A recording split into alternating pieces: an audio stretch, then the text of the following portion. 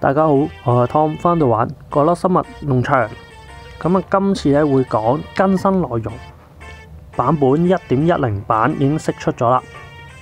咁啊，追加新製作嘅配方，咁有一個鋪氈物同埋瓷砖。咁啊，全新裝飾品陸續登場。咁啊，睇翻啲圖片啦。咁有野餐墊啦、瓷磚、風向儀、鐘塔。鳥用飲水台同埋仙人掌嘅，咁啊同埋新功能追加咗，咁有呢個玩家等級上限提升至四十級啦。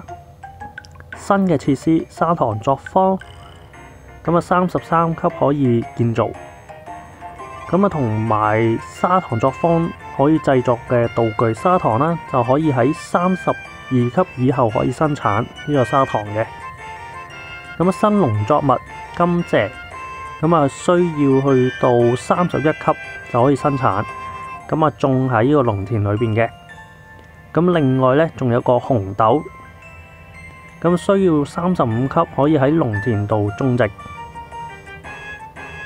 咁同埋追加咗喺麵包店製作嘅道具啊，雞蛋三文治就需要三十九級可以生產，而日式。甜點店嘅製作道具啊，羊羹啊，可以喺三十七級之後可以生產。咁同埋追加角色飛塵，來找找看躲在哪里吧。咁啊，重新檢視遊戲嘅平衡性呢。咁遊戲根據玩家期望啊，建議啊為重點進行改善。咁有三項嘅。咁第一項係已將抗爭嘅倉庫時嘅最大容量提升至二千啦，咁同埋喺遊戲裏面透過部分道具嘅訂單啊，所獲得嘅金幣同埋經驗值有所提升嘅，咁啊同埋其他嘅細部調整同埋品質提升，咁啊仲有個好消息就係下載量突破五十萬。咁喺十一月廿五號至到十二月九號期間裏邊啊，會送呢個紀念道具啦。咁有金錢啦，同埋鑽石嘅。咁啊，只要你登入呢，就已經可以發送咗喺信箱。咁記得喺信箱度攞翻出嚟。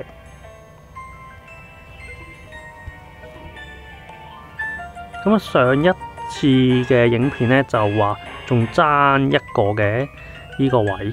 咁啊，而家四種顏色齊晒啦。咁啊，整到一個小型嘅花園。咁同埋啲更新內容呢，而家都可以喺度裏面睇到啊。日式甜點店嘅羊羹啦，麵包店裏面嘅雞蛋三文治都可以睇到嘅。咁啲農作物呢，就可以喺呢度睇到三十一級可以整到甘蔗。咁啊，紅豆就要再啲啦。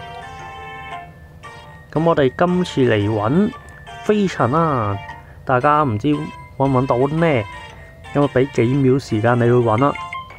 咁應該會見到佢突咗出嚟啦。係啦，就喺嗰度啦，喺右邊。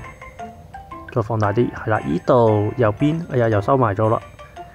誒，彈翻出嚟啦，三二一。系啦，就喺呢度，咁啊需要玩家等级四十级先开到呢个范围嘅。咁啊，四十级就系今次嘅更新内容最高啊。咁啊，需要啲时间啦。咁我哋下一集再见啦，拜拜。